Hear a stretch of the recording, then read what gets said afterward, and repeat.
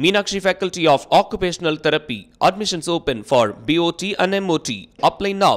சென்னை துரைப்பாக்கத்தில் நானூற்று நாற்பத்தி எட்டு கிலோ குட்கா பறிமுதல் செய்யப்பட்டுள்ள நிலையில் ஊர்காவல் படையை சேர்ந்தவர் உட்பட மூன்று பேர் கைது செய்யப்பட்டுள்ளனர் சென்னை துரைப்பாக்கம் சுற்றுவட்டார பகுதிகளில் தடை செய்யப்பட்ட குட்கா பொருட்கள் விநியோகம் நடைபெற்று வருவதாக துரைப்பாக்கம் காவல் நிலையத்திற்கு தகவல் வந்துள்ளது இதையடுத்து துரைப்பாக்கம் உதவி ஆய்வாளர் தலைமையிலான போலீசார் துரைப்பாக்கம் செக்ரட்டரியேட் காலனி ஐந்தாவது தெருவில் உள்ள ஒரு வீட்டில் தடை செய்யப்பட்ட குட்கா பொருட்கள் பதுக்கி வைத்திருப்பது தெரிய வந்தது இதனைத் தொடர்ந்து போலீசார் சம்பவ இடத்திற்கு சென்று சென்று அங்கிருந்து அதே பகுதியைச் சேர்ந்த தாமஸ் கண்ணகி நகர் எழில் நகரைச் சேர்ந்த ரகு துரைப்பாக்கம் பகுதியைச் சேர்ந்த காவல் நிலையத்தில் ஊர்காவல் படையில் பணிபுரியும் குணசேகரன் ஆகிய மூவரையும் கைது செய்தனர்.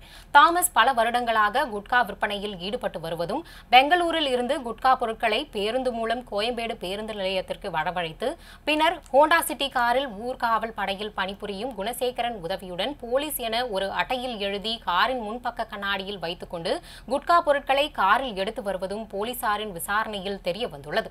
பின்னர் வீட்டிலிருந்து தடை செய்யப்பட்ட நானூற்று நாற்பத்தி எட்டு கிலோ குட்கா பொருட்களை பறிமுதல் செய்த போலீசார் குட்கா பொருட்களை விற்பனை செய்ய பயன்படுத்திய ஹோண்டா சிட்டி கார் ஒரு ஆட்டோ ஒரு பைக் ஆகியவற்றை பறிமுதல் செய்துள்ளனர்.